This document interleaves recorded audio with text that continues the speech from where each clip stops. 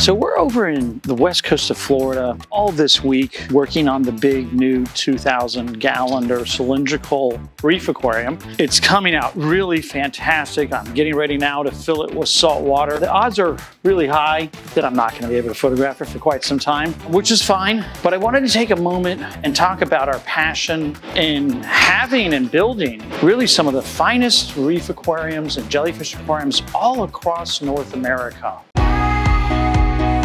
It's been really a lifetime endeavor to be in this industry since I was a kid.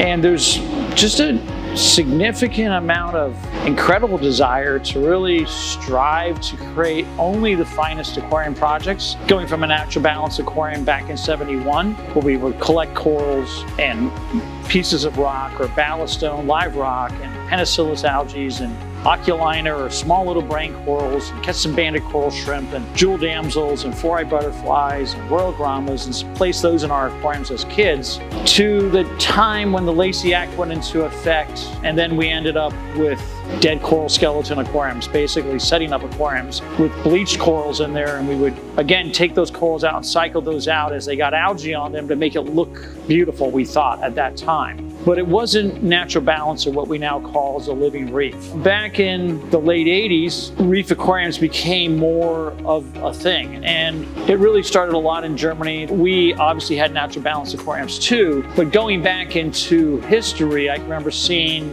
a Dutch mini reef over at Dick Boyd's office next door to the warehouse that I moved into, next door to Dick Boyd's place, the inventor of ChemiPure.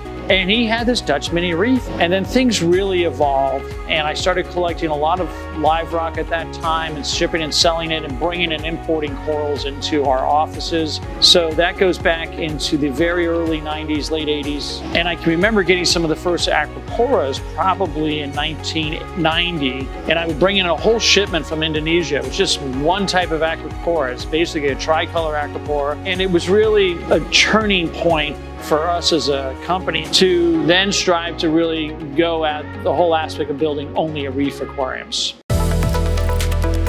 So if I go back looking at aquariums through the years, you know, I think of flying in the aquarium at Red Bank Veterinary Hospital. That had been about 19 years ago. And that was in Red Bank, New Jersey. Got a lead for that one and sold them a 2,000 gallon cylindrical glass reef aquarium that we flew in with a crane onto site through the center of the building with a dome on top that had a skylight. And they were told that the natural light would damage the aquarium. It would grow a bunch of algae. And I realized that's just not true. The natural electrolyte is beneficial, and that aquarium is still running right now, 19 years later. You know, each aquarium leads to another aquarium. We always are getting referrals. From there, I had an opportunity to replace Dr. Adey's aquarium at the Smithsonian at the Natural Museum of Natural History in Washington, D.C. That's now about 17 or more years ago. It was a great honor. And it became the second most visited item in the entire museum. Mostly stony corals. A lot of that was aquaculture. I got most of the fish from A&M Aquatics, as many aquaculture clownfish and others that we could get at that time. Pseudochromis we got, cardinals we got they were all aquacultured. That aquarium, of course, is still running today, 17 years later. And it comes down to, you know, having the passion to look at the overall space, investing a tremendous amount of time up there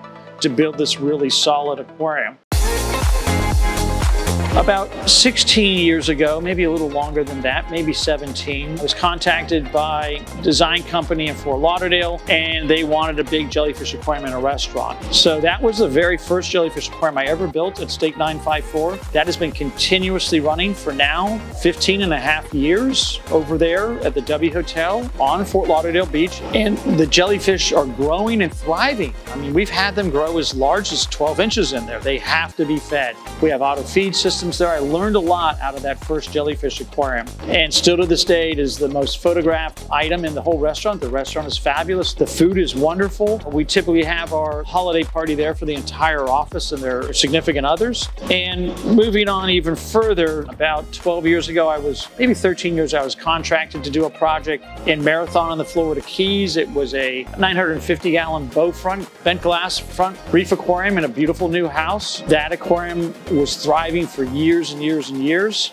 We were contracted to build a really special aquarium that we flew in with a crane into the surf club of Miami Beach. That's about a 1,600 gallon FOWLR Reef Aquarium, really in a beautiful place with exquisite millwork and just an unbelievable condominium apartment overlooking the Atlantic Ocean with the, the aquarium. You can see the ocean right from the aquarium. You can see the sunset on the other side through this beautiful apartment that's there. In Atlanta, we built this incredible 6,000 gallon reef aquarium. That's now running over six years. It came into the house in three parts, and that aquarium is just stunning. It's growing like a weed. We've harvested corals back. We pruned the aquarium back. We're there in Atlanta three days a month servicing the aquarium. There's a spectacular residential jellyfish aquarium that we did over here off Las Olas in Fort Lauderdale. That's a 12 footer by 48 inches tall, see-through room divider. Again, just a spectacular installation. Great service in there, great filtration system, water change systems, and those jellyfish grow and thrive. We put the lights on, a mode where you can see the different colors, so it's kind of going through the colors of the rainbow and the jellyfish are lighting up and they're growing exquisitely. It's, it's just a, another great example of how to build a really high quality system. Uh, two doors down from that house is another residence, a family from Boston who moved down to South Florida and we had a really great discussion about building a beautiful reef aquarium. As they start off, of course, they start off more stark, not this thriving corals growing everywhere. It takes time for your reef aquarium to grow in. But again, it's a fabulous example. It's a see-through. Uh, one side is the living room, one side is the gentleman's private office, and just another stunning display.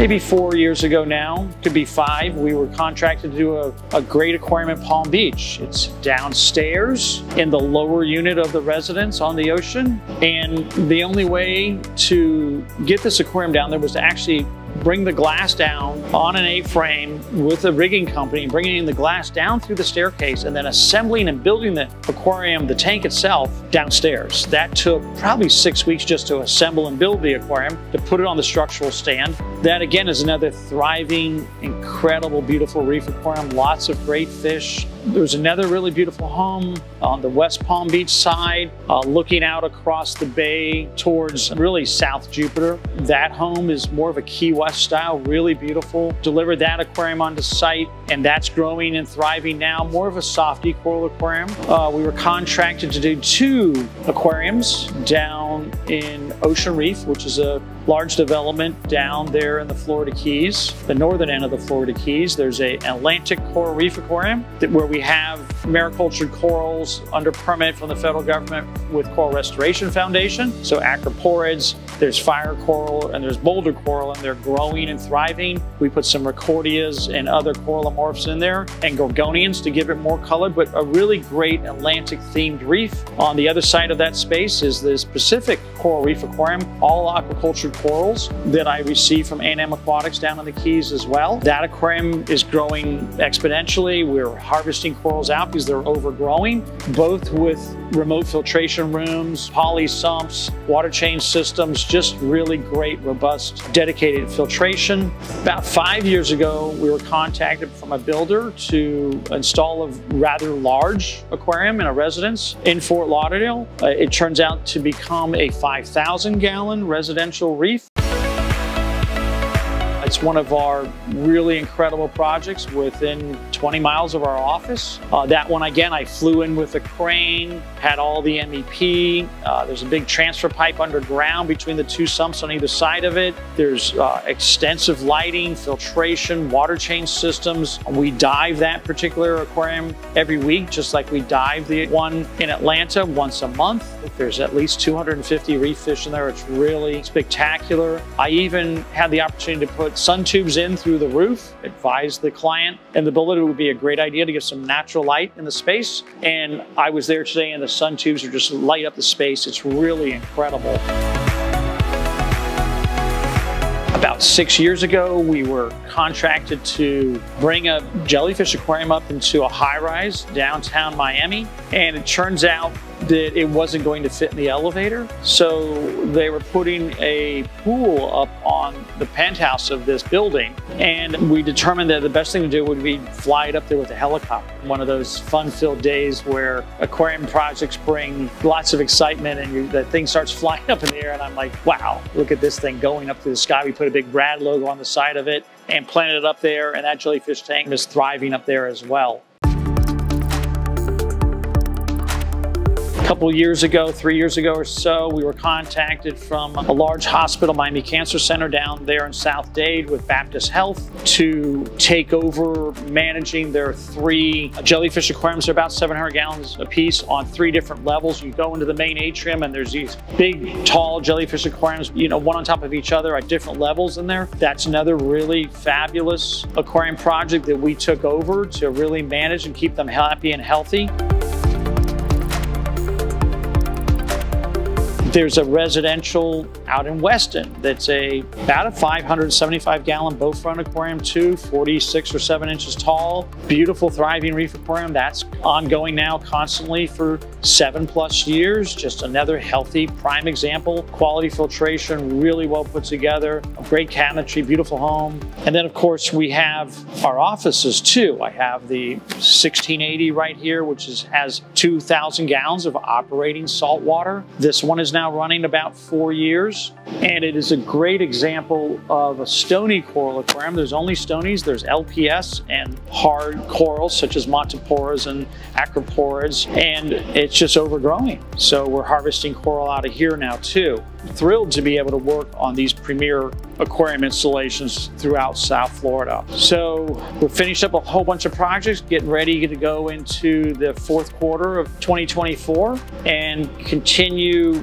creating the most fabulous coral reef and jellyfish aquariums anywhere in all of North America and this hemisphere. So remember to like, subscribe, and we'll see you next week.